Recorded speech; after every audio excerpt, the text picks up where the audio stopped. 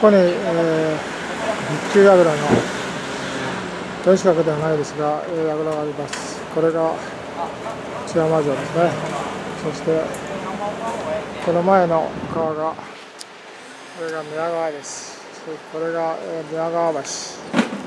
そこにですね、えー、津山市上東地区の重要伝統的建造物群の保存地域があります。これですね。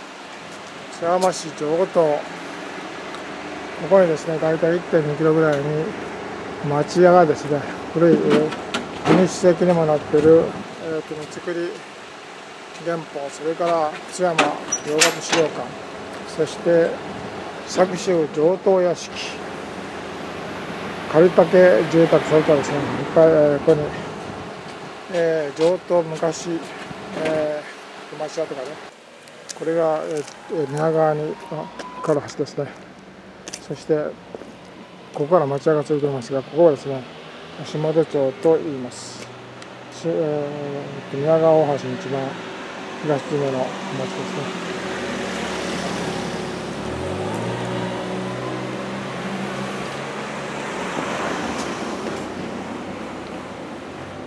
これを、えー、曲がって、えー、田園湖の1キロ以上もですね古いこれがずっとですね、えー、古い町並みがついてるところです。林屋町ですね。林屋町中野町西新町東新町、えー、ずっとこのように、えー、領土地区の地域らですね。そしてここにはこれは、えー、と由緒あるここのお菓子屋さんですね。お菓子屋さんの、えー古い日本家具あります。この子ね、こういう。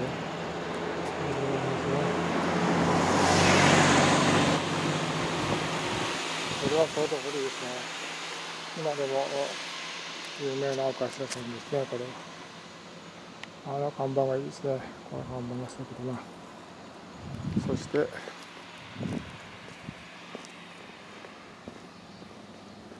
あそこからね、まあずらっとついてると、えー、ということはないですが点在してますね。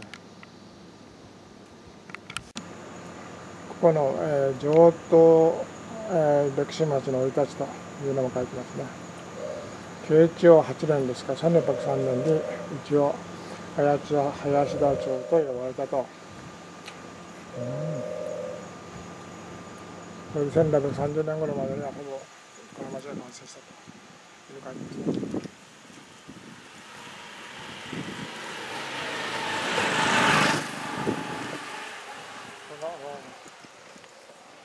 由緒ある。この、ま、これは林田町の古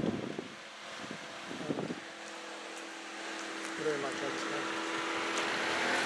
これも有名これもですね。これも総部屋だったんですね